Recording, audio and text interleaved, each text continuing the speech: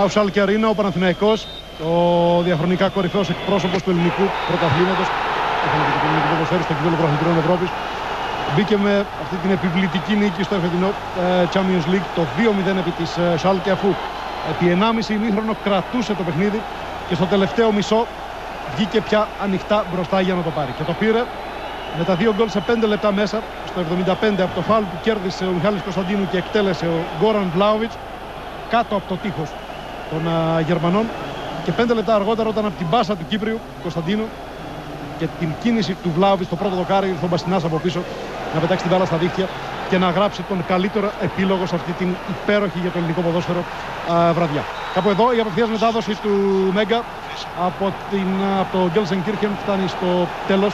Παναθηναϊκό, τον Παναθηναϊκό τον περιμένει αύριο ένα πολύ ευχάριστο ταξίδι επιστροφής στην Αθήνα αλλά και εν συνεχεία δύο πολύ δύσκολα παιχνίδια εντός έδρας στην χώρα Αλεξάνδρας με τη Real Mallorca και την Arsenal. Αυτά να είστε καλά από την ε, παραδομένη στον ενθουσιασμό των ομογενών μας Γερμανία. Χαίρετε και καλή ποδοσφαιρική χρονιά. Μια ποδοσφαιρική χρονιά που ασφαλώς όλοι ελπίζαμε. Α, βέβαια, ξεκίνησε πολύ καλά για το ελληνικό ποδόσφαιρο με τον θρίαμβο του Παναθηναϊκού στο Γκέλσεν Κίρχεν επί της ε, Σάλκε 04 με σκορ 2-0. Όμως όλοι ελπίζαμε ασφαλώς ε, και να μην είχε σημαδευτεί από αυτήν την πρωτοφανή τραγωδία στις ΗΠΑ, στη Νέα Υόρκη, στην Ουάσιγκτον και σε άλλες πολιτείες, που στήχησε τη ζωή σε χιλιάδες συνανθρώπους μας και που ακόμη δεν ξέρουμε α, σε ποιο αριθμό θα φτάσουν τα θύματα. Σε κάθε περίπτωση, πάντως, η ζωή συνεχίστηκε για το ποδόσφαιρο με την απόφαση της UEFA να διεξαχθούν κανονικά οι απόψινοί αγώνες. Πρώτη αγωνιστική για τους ομίλους του Champions League και πρώτος τρίαμβο για τον Παναθηναϊκό. Μία νίκη που δεν ξέρω πραγματικά πόσοι περίμεναν, αλλά μία νίκη που ήρθε α, για τους πράσινους με, μετά από μία πάρα πολύ καλή α, εμφάνιση. Ο Παναθηναϊκός παρέδωσε μαθήματα ρεαλιστικού ποδοσφαίρου και έφτασε στη νίκη με δύο γκολ στο δεύτερο ημίχρονο. Α θυμηθούμε πώς. Μπαίνουμε στο 75. Φεύγει ο Παύλος Σόουσα. Και είναι ο Βλάοβιτς με τον ε, Καρακούνη. Ο Μπράσκι δείχνει στους ε, γηπεδούχους να στήσουν το τείχος ακόμη πιο πίσω. Βλάοβιτς, η μπάλα περνάει γκολ! Στο 75 η αλλαγή ήρθε από τον πάγκο ο Γκόραν Βλάοβιτς και μας έφτιαξε τη βραδιά. Μια βραδιά που ούτως ή άλλως ήταν πολύ καλή μέχρι στιγμής για τα ελληνικά χρώματα γίνεται ακόμη καλύτερη 15 λεπτά πριν το φινάλε με το απευθείας φάουλ του Γκόραν Βλάοβιτς στα δίχτυα του Όλιβερ Ρεκ. Η μπάλα περνάει σιρτά κάτω από το τείχος, πιθανόν να βρει και λίγο και στο πόδι του Μικαέλσεν και το 0-1 για τον Παναθηναϊκό είναι γεγονός.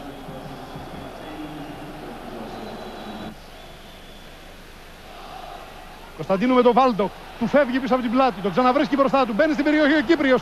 Γυρίζει. Ευκαιρία Μπασινάς. 2-0 στο 80 από τον Άγγελο Μπασινά. Ύστερα από τρία γκολ στο Champions League και στο κύπελο πρωταθλητριών με πέναλτι έρχεται και ένα που δεν είναι με πέναλτι και είναι το πιο γλυκό γκολ που ασφαλώς έχει βάλει στην καριέρα του μαζί με εκείνο εναντίον της Juventus στην Αθήνα πριν από 10 μήνες. Σάλκε Παναθηναϊκός 0-2 με δημιουργό τον Μιχάλη Κωνσταντίνου που έβαλε πλάτη το Βάλντοχ, γύρισε, έφυγε η μπάλα του Βλάοβιτς που περίμενε στο πρώτο δοκάρι και εντελώς ανενόχλητος. Στο ύψος του δεύτερου δοκαριού ο Άγγελος Μπασινάς στο 80 το 0-2 σε 5 λεπτά μέσα το 0-0 στην uh, και Arena γίνεται 0-2.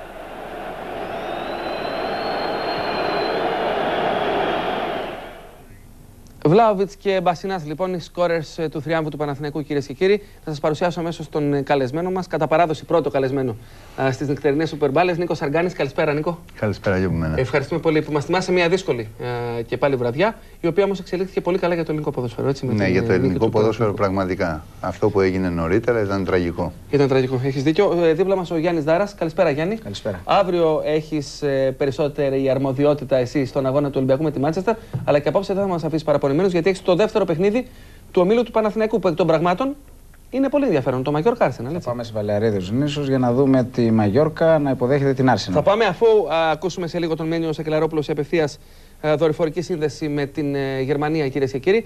Α, στο σημείο αυτό μπορούμε ε, να δούμε τι δήλωσε πριν από λίγο στον ε, Μένιο Σακελαρόπουλο ο Γιάννης Κυράστας λίγο μετά από την λήξη του αγώνα στη Γερμανία. Προσωπικά, εμένα θα μου επιτρέψετε, ναι, μπορεί να χαρώ, αλλά αν σκεφτώ αυτά τα οποία γίνανε σήμερα το πρωί στην Αμερική, ε, πιστεύω ότι το μόνο που μπορούμε να πούμε είναι ο Θεός να αναπάσει τις ψυχές των ανθρώπων αυτών, έτσι και να μην ξανασυμβεί στην ανθρωπότητα άλλο τέτοιο χτύπημα. Αυτό το οποίο ήθελα να δω ήταν μια ομάδα πειθαρχημένη, σοβαρή, να αρχίζει να βρίσκει το ρυθμό της, αυτό που έχω πει ότι σταδιακά σιγά σιγά θα βρίσκει το ρυθμό της. Για μας ε, δεν λέει τίποτα αυτή η νίκη όταν πρώτος στόχος της ομάδος είναι το πρωτάθλημα.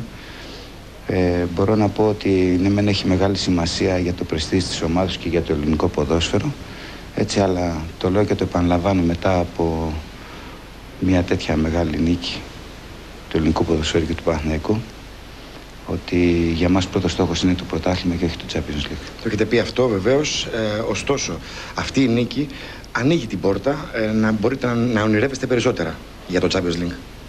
Η πόρτα θα ανοίξει μόνο αν κερδίσουμε την επόμενη Τετάρτη τη Μαγιόρκα μέσα στη λεωφόρο. Τότε θα πω ότι μπορεί να ανοίξει. Αλλά είτε ανοίξει είτε μείνει κλειστή για μας, πρώτος στόχος είναι το πρωτάθλημα και τίποτα άλλο.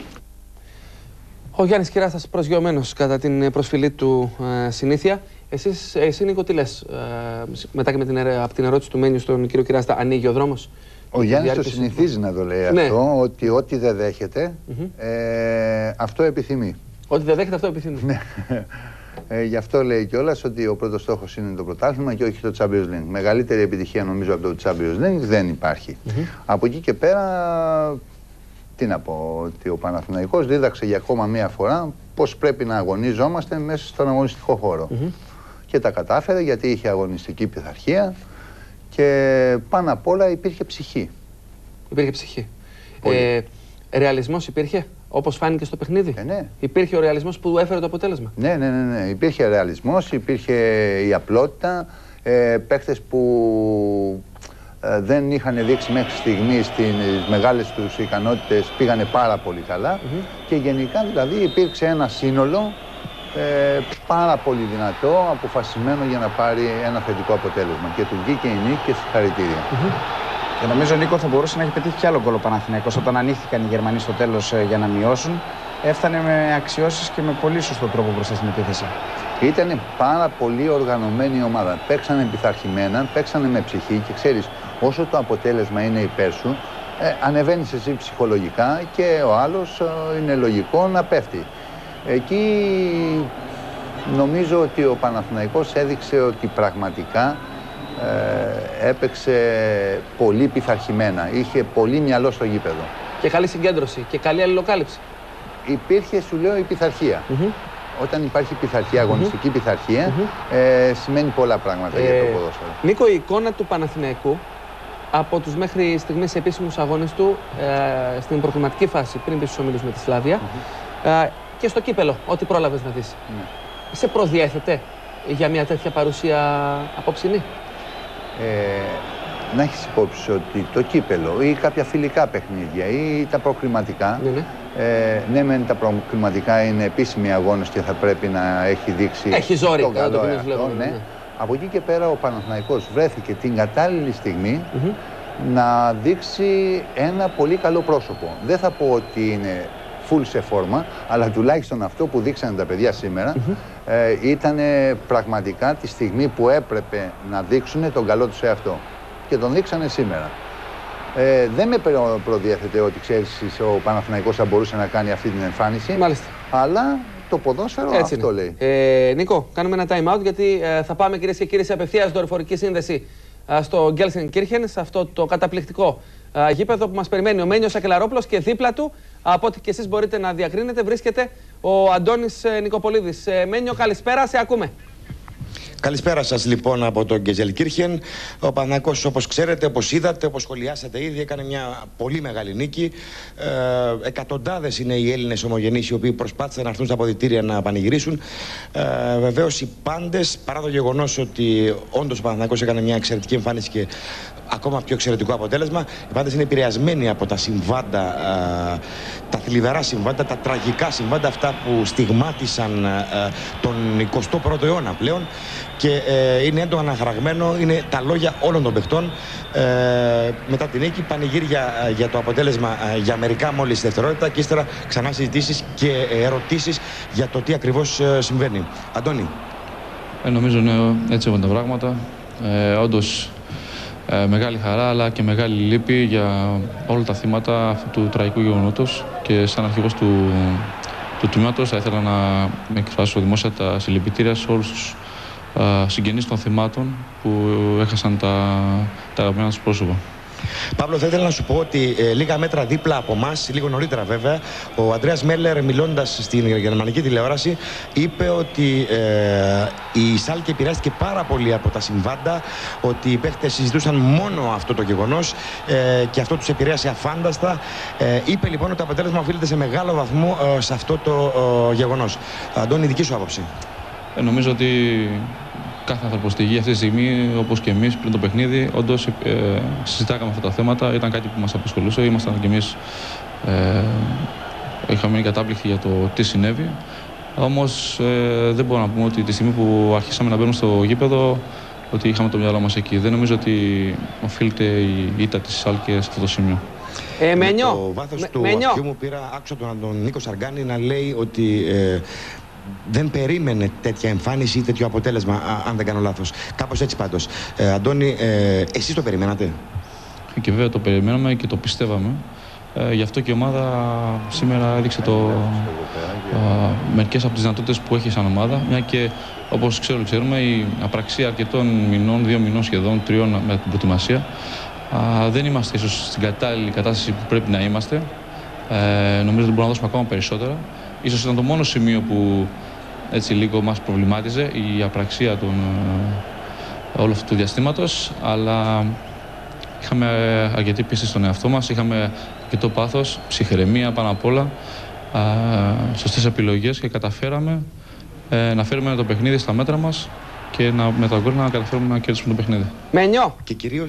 Ναι, ναι, Παύλο. ε, ε, μία παρέμβαση στο σημείο αυτό. Ε, η πρώτη για την έκπληξή μου για τη δήλωση του Μέλλερ, ε, ο οποίος Φίλε, τι είναι από έπαιγε, τους, καταλάβει. από τους πλέον σοβαρούς. Νομίζω μου ε, καταλάβει. Ο κόσμος πρέπει να το καταλάβει. Και πιστεύω το δείχνουμε εμεί στο γήπεδο Δεν να το ακούει. καταλάβει και η ομάδα του Παναθηναϊκού φέτος έχει μεγάλους στόχους και αυτό το δείχνει κάθε φορά που είναι κάποιο επίσημο και δύσκολο παιχνίδι. Ο προπονητής σου είπε πριν από μερικά μόλις λεπτά ότι ε, εκείνο που τον ενδιαφέρει περισσότερο είναι το πρωτάθλημα στην Ελλάδα. Η δική σου άποψη. Ε, εντάξει, όταν παίζεις το Champions League ε, σίγουρα ε, μέσω πρωταθλήματος βρίσκεσαι εδώ που βρίσκεσαι. Αλλά από εκεί και πέρα, όταν παίζεις τέτοια παιχνίδια, σκέφτεσαι αυτό το παιχνίδι και μετά σκέφτεσαι το πρωτάθλημα που έρχεται. Πάντως μιλάμε για ένα πολύ μεγάλο επίτευγμα, μια νίκη ιστορική θα λέγει κανείς.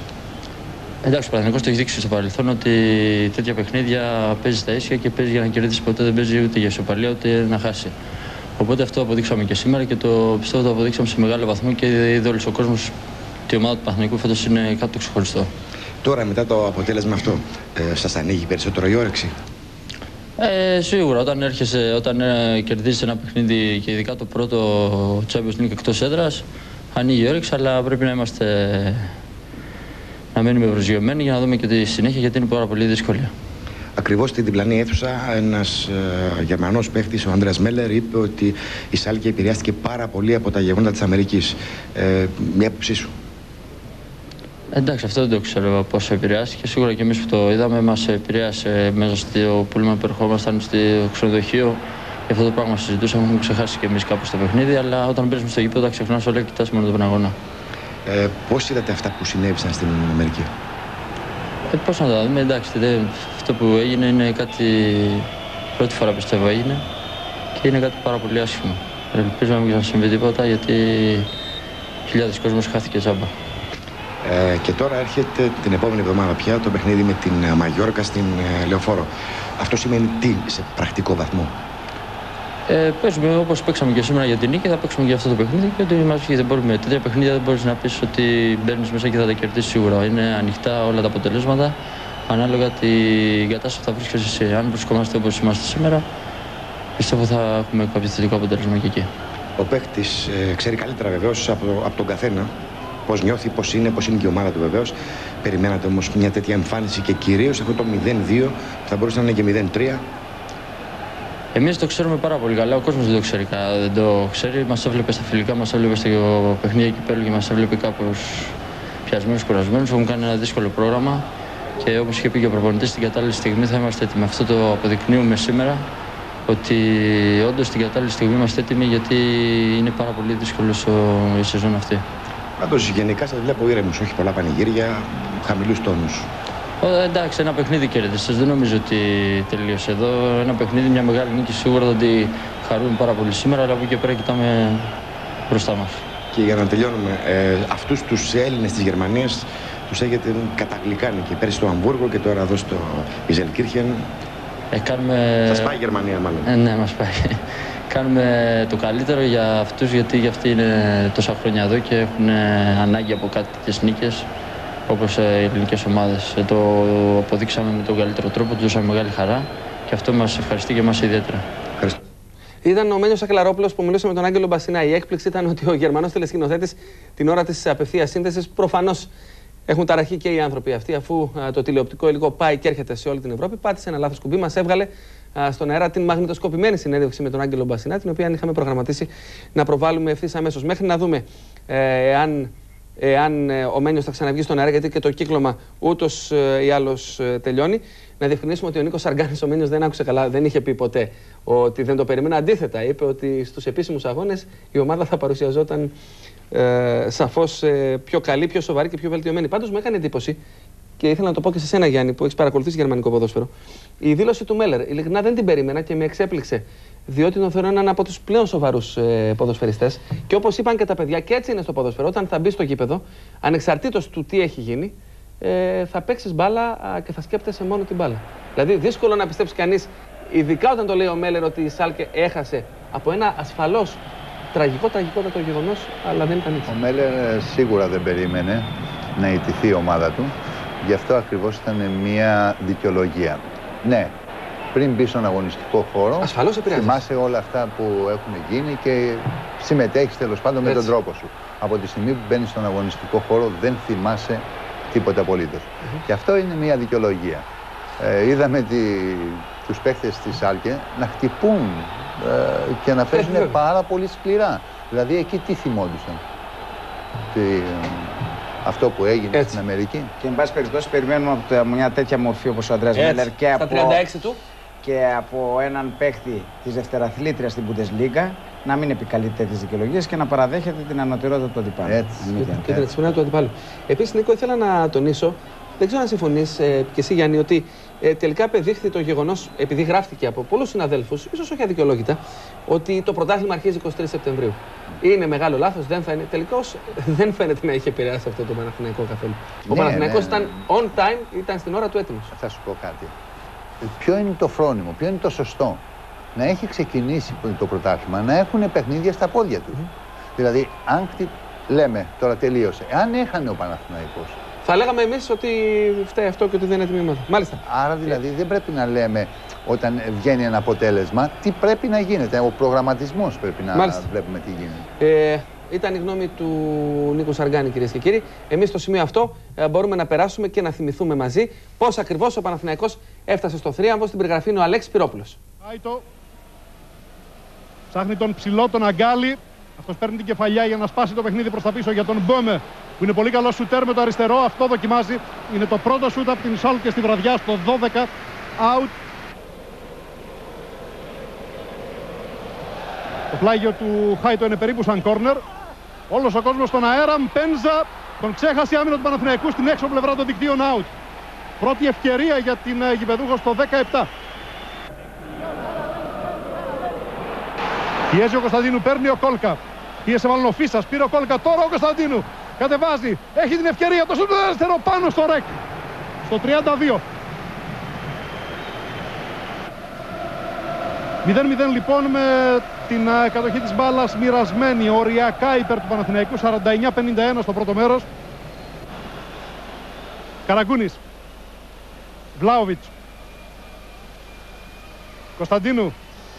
Φάουλ. Σε πάρα πολύ καλό σημείο για τον Παναθηναϊκό στο 74 δεν το απέφυγε το φάουλ ο Τόμας Βάλντοχ ο αρχηγός ο Πολωνός της α, Σάλκε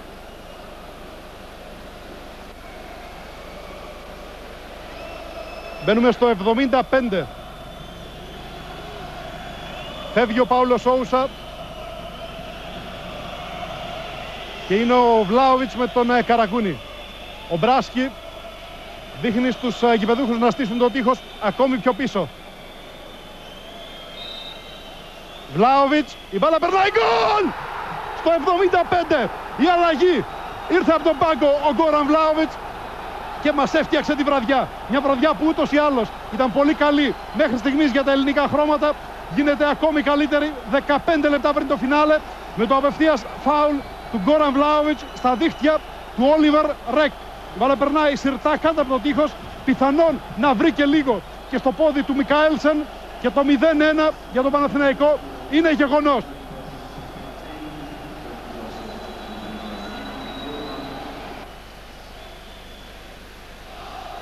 Κωνσταντίνου με τον Βάλντο. Του φεύγει πίσω από την πλάτη. Το ξαναβρίσκει μπροστά του. Μπαίνει στην περιοχή ο Κύπριος. Γυρίζει. Ευκαιρία Μπασίνας. 2-0 στο 80 από τον Άγγελο Μπασινά. Ύστερα από τρία γκολ στο Champions League και στο κύπελο πρωταθλητριών με πέναλτι έρχεται και ένα που δεν είναι με πέναλτι και είναι το πιο γλυκό γκολ που ασφαλώς έχει βάλει στην καριέρα του μαζί με εκείνο εναντίον της Juventus στην Αθήνα πριν από 10 μήνες. Σάλκε Παναθηναϊκός 0-2 με δημιουργό τον Μιχάλη Κωνσταντίνου που έβαλε πλάτη το Βάλντοχ γύρισε. Έφυγε η μπάλα από τον Βλάοβιτς που περίμενε στο πρώτο δοκάρι και εντελώς ανενόχλητος. Στο ύψος του δεύτερου δοκαριού ο Άγγελος Μπασινάς στο 80 το 0-2. Σε 5 λεπτά μέσα το 0-0 στην ε, Αρένα γίνεται 0-2. Με το τέταρτο γκολ στην καριέρα του Μπασινά στο κύπελο Ευρώπης πρωταθλητριών ομάδων. Αγκάλι κλείνεται, χάνει την ισορροπία του Νέμετς Χάιτο με το αριστερό πέφτει ο Νικοπολίδης μπλοκάρει. Να βγάλει και αυτός στο μεροκάματο ο Αντώνης Νικοπολίδης. Στο σουτ, ωραίο σουτ, χαμηλό αριστερό από τον uh, Τόμας Χάιτο στο 82. Χάιτο. Αλλάζει με τον Τζόρτζεβιτς και με τον Βίλμοντ θα κάνει αυτό το σουτ. Είναι out η corner. Corner δείχνει ο Μπράσκι. Ασφαλώς ο καλύτερος παίκτης της Σάλκη απόψε ο Τόμας Χάιτο. Η κόντρα από τον Πάουλο Σόουσα και το κόρνερ ο Αγκάλι με τον Βόκολο. Η έξοδος του Νικοπολίδη. Χάνει την μπάλα. Φάουλ. Ακούστηκε αμέσως. Σαν και λάιδισμα στα αυτιά μας το σφύριγμα του Μπράσκι και εν συνεχεία Βρέθηκε παίκτης του Παναθηναϊκού το χορτάρι. Βρίσκει τον Καραγκούνι. Αυτός κοιτάει πίσω του. Μήπως και μπορεί να αλλάξει το παιχνίδι. Και πραγματικά βρίσκει τον Βασινά. Αυτός με τη μία για τον Βλάοβιτς. Για να το δούμε και αυτό. Όχι, απέκρουσε ο Ρεκ. Στο ακριβώς τη συμπλήρωση των 45 λεπτών του δεύτερου χρόνου. Έχει ακόμη μία ευκαιρία ο Κροάτης. Ένας μένον με τον Βάλντο. Πλησιάζει ο Σάριτς, πλησιάζει και ο Παύλο Σόουσα. Αυτόν βρήκε ο Πορτογάλος, το Σάριτς δηλαδή. Κοντά και ο Καραγκούνης, κοντά και ο Παύλος Σόουσα. Εκπληκτικό τρίγωνο. Καραγκούνης γυρίζει, διώχνει ο Ρεκ με το ένα χέρι και καθώς είναι ζαλισμένη, θα έλεγα, όλη η γερμανική άμυνα, έχει δείξει κόρνερ ο Μπράσκι. Έτσι λοιπόν γράφτηκε ακόμη μια χρυσή σελίδα στην ιστορία του Ευρωπαίου Παναθηναϊκού και μάλιστα και πάλι εκτός έδρας.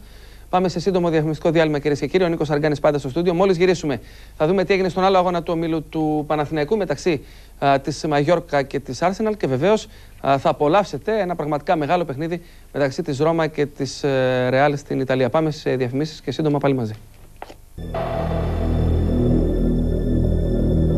Και πάλι μαζί κυρίες και κύριοι, ο Νίκος Αργάνης πάντα στο στούντιο μαζί μας από την αρχή μέχρι και το τέλος της απόψινής εκπομπής. Αλλά είναι η ώρα για τον ε, Γιάννη Δάρα και βεβαίως διότι και εγώ είμαστε να δούμε τι έχει γίνει στο δεύτερο παιχνίδι του ομίλου του Παναθηναϊκού. Έτσι, πάμε στη Μαγιόρκα λοιπόν. Την άλλη Τετάρτη έρχεται πάμε στην όλοι Αθήνα. μαζί. Η Μαγιόρκα την άλλη Τετάρτη έρχεται στην Αθήνα, όπως είπε και ο Γιάννης Δάρα, και τώρα φιλοξενεί την Arsenal. Στο καινούργιο της γήπεδο, λίγα χιλιόμετρα έξω από την ε, πρωτεύουσα του νησιού, σε έναν λόφο. Το καινούργιο περσίχρονο γήπεδο της ε, Μαγιόρκα. Βλέπουμε και τους οπαδούς της. Πέναλτι και αποβολή. Ο Λούκι ανατράπηκε από τον Άσλεϊ Κόουλ, ο οποίος Φεγκόγκα θα εκτελέσει το πέναλτι, θα στείλει την μπάλα στα δίχτυα και θα κάνει το 1-0 για την Μαγιόρκα στο 12ο λεπτό. Σε κρίσιμότατο σημείο. Ναι, σίγουρα. Γκολ και παίχτη παραπάνω. Η Μαγιόργα, ξέρεις, δεν ξεκίνησε καθόλου. Του Ολυμπιακού. Έτσι λοιπόν ήθελε. Κινήθηκε Περίμενε να δει με, μετά. το, με το Ε, μάτι ναι. που θα πάει ο Ο Σίμον. Εγκόκα που άλλαξε παπούτσα αμέσως μετά το γκολ που πέτυχε. Η Arsenal δεν έδειξε σπουδαία πράγματα, έκαναν πολλά λάθη παίκτες όπως στην φάση που βλέπουμε. Το μακρινό σούτ από τον Λούκε, η μπάλα περνάει out. Λίγα λεπτά μετά τον γκολ, Είναι και ο Κάμπελ παρακαλώ, δεν είναι όποιος και όποιος αμυντικός έτσι. Βέβαια είναι... τα είδε όλα. έχει πολύ ψηλότερο κέντρο. βάθος.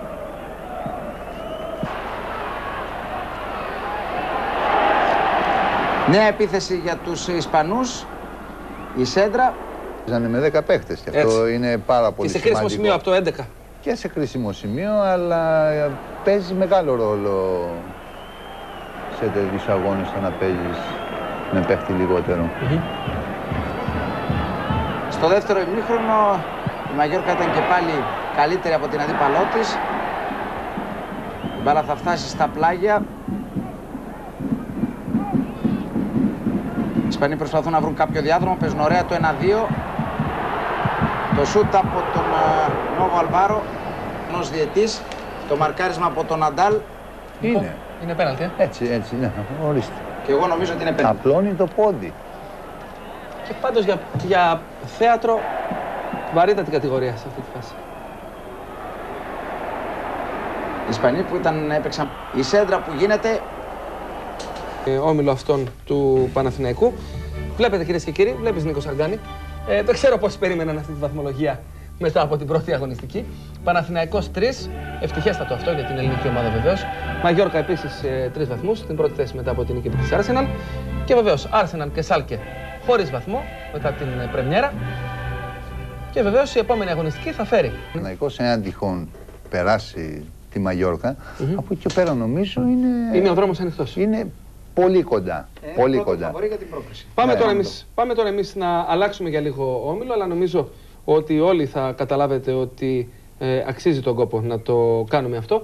Α, καθώς ε, επίσης ένα πολύ μεγάλο ευρωπαϊκό παιχνίδι γινόταν απόψε στη Ρώμη. Η Ρώμα υποδεχόταν τη Ρεάλ, τη Ρεάλ του Ζινεντίν Ζιντάν που πήγε όμως στην αιώνια πόλη χωρίς τον ακριβοπληρωμένο Γάλλο άσο των 27 δισεκατομμυρίων που χρωστά τιμωρία από την πρεσινή του ε, σεζόν στη Juventus. Πάμε αμέσως να δούμε τι έγινε στο πρώτο μήνυμα. Θα έχουμε τη χαρά να ακούσουμε τον απεσταλμένο του Μέγκα Αντώνη Κατσαρό. Κυρίες και κύριοι από την δροσερή Ρώμη, καλησπέρα σας. Οι εξελίξεις βέβαια πολύ μακριά από εδώ, δυστυχώς έχουν οδηγήσει τον κόσμο σε πένθος. Παρ' όλα αυτά, απόψε το ποδόσφαιρο γιορτάζει. Καθώς αναμετρώνται οι νικήτριες των δύο κορυφαίων σύμφωνα με τις λίστες της UEFA πρωταθλημάτων της Ευρώπης. Η μετά από 18 χρόνια πρωταθλήτρια Ιταλίας Ρώμα στην πρώτη της συμμετοχή στην αστραφτερή διοργάνωση του Champions League. Υποδέχεται τη Real Madrid που τα τελευταία τέσσερα χρόνια έχει κατακτήσει το κορυφαίο ευρωπαϊκό τρόπαιο δύο φορές. 35 τηλεοπτικά δίκτυα παίρνουν εικόνα από το Ολυμπιακό Στάδιο της Ρώμης απόψε και 18 τηλεσχολιαστές βρίσκονται στο γήπεδο, αριθμός ρεκόρ για αγώνα πρώτης φάσης. Είναι άλλωστε ο σπουδαιότερος σε πρεμιέρα μετά την αναμέτρηση της Μάντσεστερ με την Μπαρτσελώνα που τελείωσε 3-3 στις 16 Σεπτεμβρίου του 1998.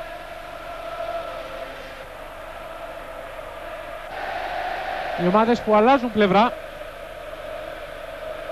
μετά την καθιερωμένη ρήψη του νομίσματος για να ξεκινήσει ο αγώνας είναι ε, όλα έτοιμα για να ξεκινήσει ο αγώνας αλλά ε, πριν από αυτό θα έχουμε ενός λεπτού σιγή για τα όσα θλιβερά έχουν συμβεί σήμερα στις Ηνωμένες Πολιτείες.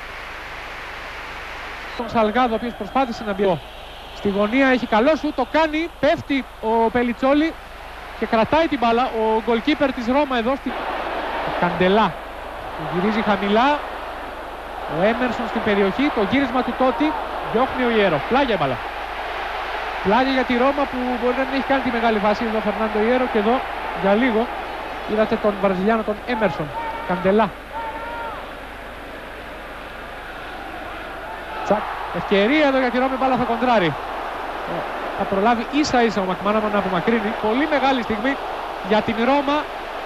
Ε, το καλησπέρα της Οικοδέσποινας στην Ρεάλ Μαδρίτης με την κεφαλιά του Μπατιστούτα στην φάση αυτή που ε, λίγο έλειψε να έχουμε το πρώτο γκολ στο Ολυμπιακό Στάδιο της Ρώμης για την φετινή σεζόν. Κοιτάξτε και πάλι τη σέντρα του Τότι εδώ σε μια ε, φάση με σέντρα, αγγλική φάση θα έλεγα, η Ισπανική άμυνα πήγε να ευνηδιαστεί από την Ιταλική. Καλή πάσα χαμηλά για τον Μακμάναμαν που έχει μπροστά του τον Ζεμπινά. Μακμάναμαν και τώρα Φίγκο. Φίγκο χαμηλά γυρίζει, ευκαιρία με τον Μακμάναμαν, out η μπάλα. Σούταρε οπουδήποτε αλλού εκτός από το τέρμα ο Άγγλος για τον οποίο ακούστηκε και τώρα πριν από μια εβδομάδα ότι η Real θα τον πουλήσει αλλά κάθε φορά που ακούγεται κάτι τέτοιο εμφανίζεται στην βασική ενδεκάδα μετά. Μάλιστα. Αυτά από τον ε, Αντώνη Κατσαρό για το...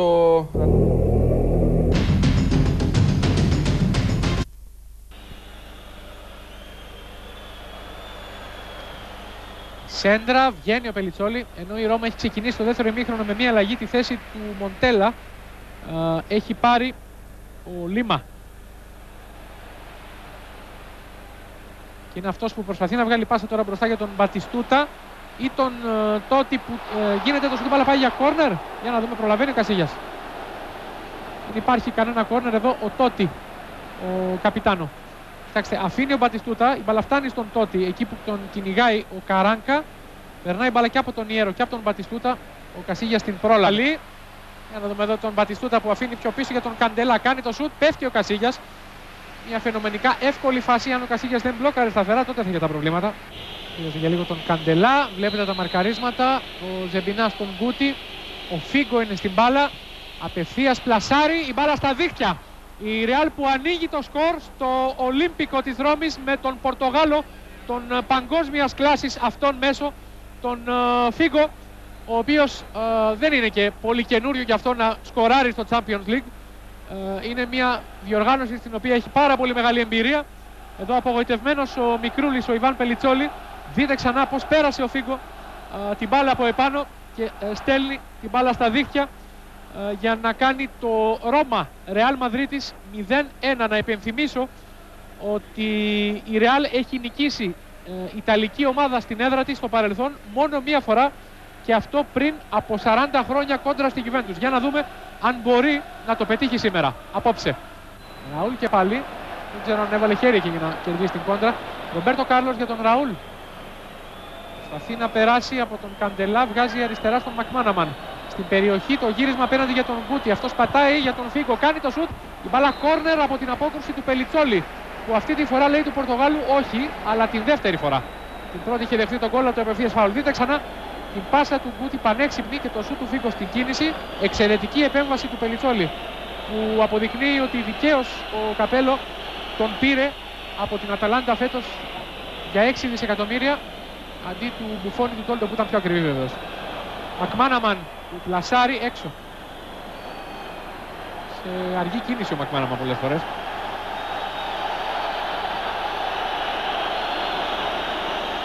Τελιτσόλη που κράτησε το 0-1. Ο Κασάνο όρθιος. Ο Αντώνιο Κασάνο που σε λίγο θα μπει στο παιχνίδι. Θεωρείται, λέγαμε και πριν, η μεγάλη ελπίδα της Ρώμα και του Ιταλικού ποδοσφαίρου. Και σε εθνικό επίπεδο φυσικά. Σάμουελ 0-1 πάντα. Η πάσα με στόχο τον Μπατιστούτα που δεν ξέρω θα τον δούμε απόψε. Δεν θα περάσει την μπάλα. Ο Ραούλ που θα την κατεβάσει για τον Φίγκο που κάνει μαγικά πράγματα απόψε. Κερδίζει και την κόντρα. Ο Φίγκο μόνος του με όλη την άμυνα της Ρώμας. Βγάζει την κατάλληλη στιγμή απέναντι. Το πλασέ στα χέρια του Πελιτσόλη δεν είναι τέτοιο που να ανησυχήσει. Ο Μακμάναμαν που λέγαμε ότι όλα τα κάνει σε αργή κίνηση. Και το πλασέ δεν είναι καλό. Και κάπου εδώ μετά τον γκολ αυτό του Γκούτι με το κεφάλι έχω την εντύπωση ότι δεν μπορεί να πιστέψει κανείς ότι η Ρώμα έχει τύχει απόψες. Στο 63 είμαστε και ο Γκούτι ε, στέλνει την μπάλα για δεύτερη φορά στα δίχτυα ε, της Ρώμα. Ε, ο Μακμάναμαν συγχαίρει τον ε, Γκούτι που νομίζω ότι ξεπληρώνει το λάθος του πρώτου ημιχρόνου όταν έχασε εκείνη την απίστευτη ευκαιρία με αυτή την κεφαλιά στην μαγική πάσα του Φίγκο ο Φίγκο εκτελεστής και, ε, του πρώτου γκολ και δημιουργός του δεύτερου. νομίζω ότι είναι το πρόσωπο της αναμέτρησης, το πρόσωπο της βραδιάς. Ξανά λοιπόν εδώ ο Γκούτι. Βεβαίως ο Πελιτσόλη νομίζω ότι ούτε αυτή τη φορά θα κάνει κάτι ο goalkeeper. 0-3 θα το έχουμε από τον Φλάβιο Κονσεϊσάο. Η πάσα στον Φίγκο. Προσπάθεια και πάλι με τον ε, Μίτσελ Σαλγάδο. Η μπάλα είναι. Ε, θα φανεί για πρώτη φορά απόψε στο παιχνίδι. Κάνει το shoot out. Ο Γκαμπριέλ Μπατιστούτα. Του ζητάει corner, αλλά νομίζω ότι δεν έχει δίκιο. Θα φανεί και στο replay που βλέπετε εδώ. Τον ακολουθεί ο Αϊτόρ Καράνκα. Είναι out βεβαίως. Δεν βρήκε ούτε ο Κασίγια ούτε ο Καράνκα που ήταν κοντά του. Μπατιστούτα που σουτάρει απόψε για πρώτη φορά. Και αυτό κάνει αυτό το 72.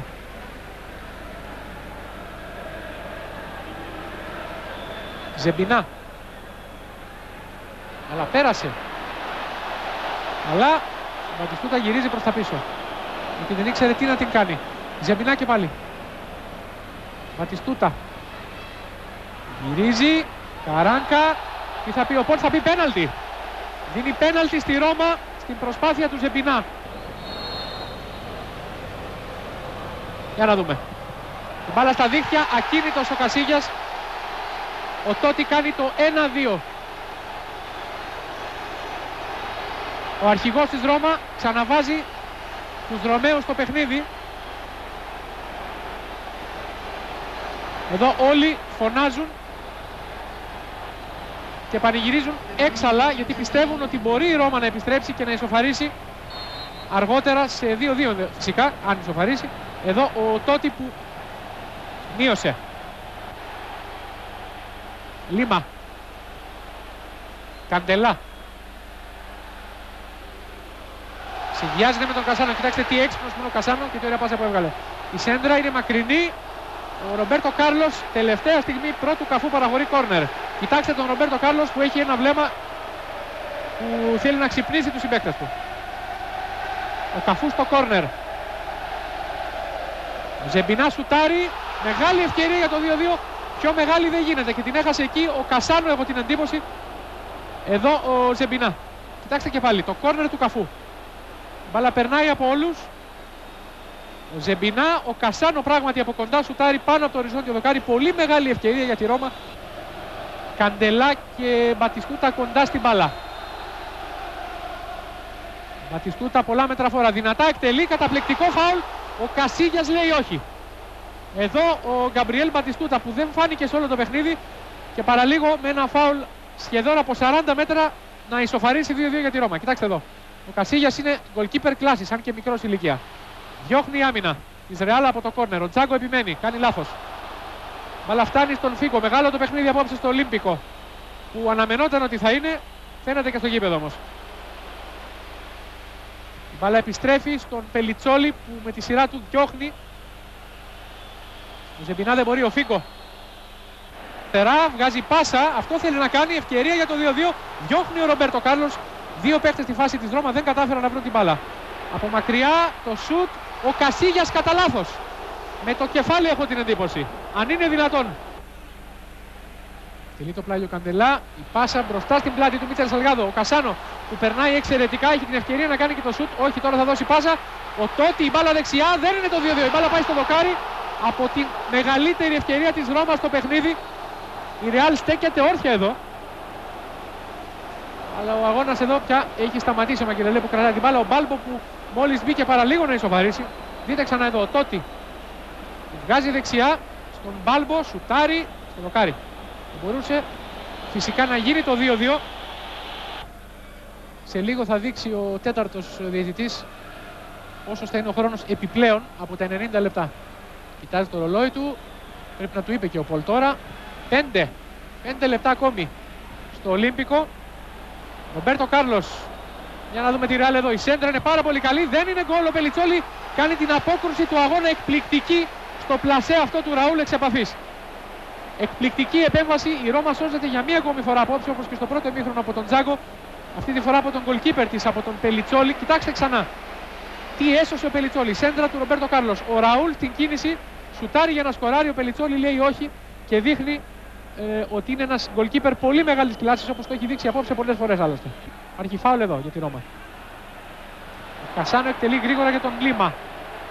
Το Λίμα αφήνει για τον Έμερσον, για τον Ζεμπινά μάλλον. Τότι. Ματιστούτα. Έχει βγει μόνος. Πλασάρει ο Κασίγιας. Κάνει την απόκρουση α, του αγώνα και έχω την εντύπωση ότι ε, οι πρωταγωνιστές της βραδιάς απόψε είναι οι δύο τερματοφύλακες. Κοιτάξτε εδώ, ο Μπατιστούτα απέναντι στον Κασίγιας, ο οποίος με τον νόμο, παρακαλώ, λέει όχι σε αυτόν τον ποδοσφαιριστή παγκόσμιας κλάσης με τον οποίο ε, έχει σχεδόν 12 χρόνια διαφορά ηλικίας. Κάμπο, κερδίζει χρόνο η Ρεάλ. Λιγότερο από 20 δευτερόλεπτα για να συμπληρωθούν τα 5 λεπτά των καθυστερήσεων. Του επιπλέον χρόνου δηλαδή. Μακμάναμαν. Προσπαθεί να περάσει ο Σάμουελ Κόβι. Εξαιρετική κίνηση. Και νομίζω ότι τώρα η Ρώμα έχει μια τελευταία ευκαιρία καθώς δεν ο διαιτητής θα στηρίξει τη λήξη με πράγματι. Μέχρι στιγμής για τα ελληνικά χρώματα γίνεται ακόμη καλύτερη 15 λεπτά πριν το φινάλε. Κωνσταντίνου με τον Βάλντο. Του φεύγει πίσω από την πλάτη. Το ξαναβρίσκει μπροστά του. Μπαίνει στην περιοχή ο Κύπριος. Γυρίζει. Ευκαιρία Μπασίνας. 2-0 στο 80 από τον Άγγελο Μπασινά. Ύστερα από τρία γκολ στο Champions League και στο κύπελο προαθλητριών με πέναλτι έρχεται και ένα που δεν είναι με πέναλτι και είναι το πιο γλυκό γκολ που ασφαλώς έχει βάλει στην καριέρα του μαζί με εκείνο εναντίον της Juventus στην Αθήνα πριν από 10 μήνες. Βρίσκει τον Καραγκούνι, αυτός κοιτάει πίσω του. Μήπως και μπορεί να αλλάξει το παιχνίδι. Και πραγματικά βρίσκει τον Βασινά. Αυτός με τη μία για τον Βλάοβιτς. Για να το δούμε και αυτό. Όχι απέκρουσε ο Ρεκ. Στο ακριβώς τη συμπλήρωση των 45 λεπτών του δεύτερου χρόνου.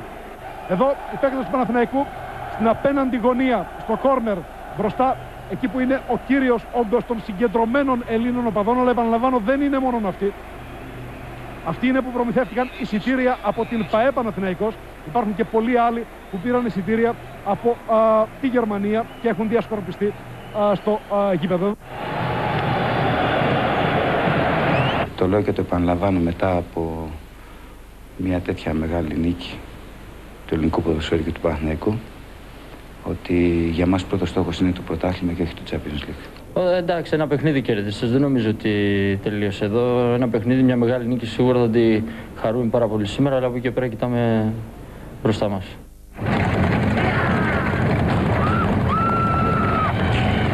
Πολιτείες δεν άφησε ένα συγκίνητο το Γιάννη Κυράστα. Ήταν μόνο μια μεγάλη νίκη, την οποία, η οποία νίκη όμως συνοδεύτηκε με τραγικά γεγονότα τα οποία γίνανε στην Αμερική. Η UEFA αποφάσισε την αναβολή των αγώνων του Champions League σήμερα και του κυπέλου UEFA αύριο. Στέφανε, θα το δούμε μετά από ένα πολύ σύντομο διαφημιστικό διάλειμμα. Πιστεύουμε στην αθλητική σας ενημέρωση και στον Στέφανο Δημητριάδη. Στέφανε. Πιθανή ημερομηνία των σημερινών των απόψινών αγώνων του Champions League είναι η 10η Οκτωβρίου. Την Παρασκευή θα αποφασίσει η Εκτελεστική Επιτροπή της UEFA και την επόμενη εβδομάδα θα γίνουν οι πρώτοι αγώνες της πρώτης φάσης του κυπέλου UEFA που ήταν προγραμματισμένοι για αύριο. Έχουμε και κάτι για τα Τα εισιτήρια. χθεσινά παιχνίδια ε, μετρούν κανονικά και Μετρούν τα κανονικά εισιτήρια τα του παιχνίδια. Ολυμπιακού και των απόψινών αγώνων του Champions League, του Ολυμπιακού με τη Manchester που ήταν προγραμματισμένος για σήμερα, ισχύουν κανονικά όπως και οι διαπιστεύσεις των δημοσιογράφων για όποτε γίνει το παιχνίδι. Πιθανότερη ημερομηνία, επαναλαμβάνουμε, δε- ε, 10 Οκτωβρίου.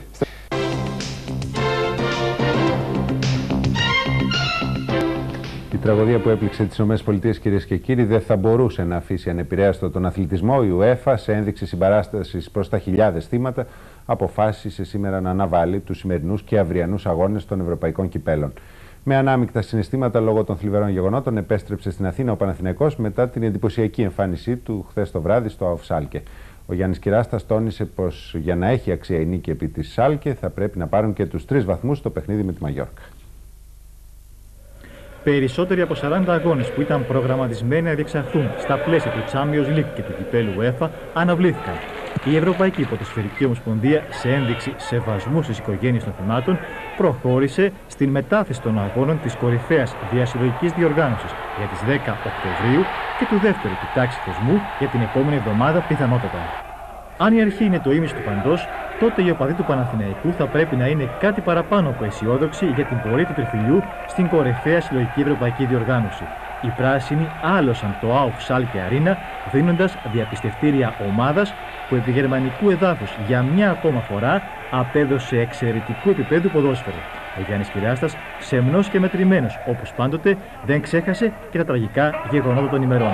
Ήταν μόνο μια μεγάλη νίκη, την οποία, η οποία νίκη όμως συνοδεύτηκε με τραγικά γεγονότα τα οποία ε, γίναν στην Αμερική. δεν μας αφήνει να χαρούμε τόσο πολύ.